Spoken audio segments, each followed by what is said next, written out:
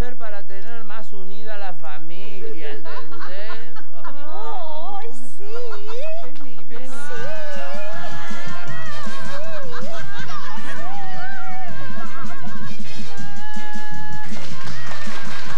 Bueno, tenemos otra vieja, otra vieja que ya es, es como un clásico que cada vez que sale a barrer ahí a la puerta de su casa le pasa algo. Hoy se encuentra con alguien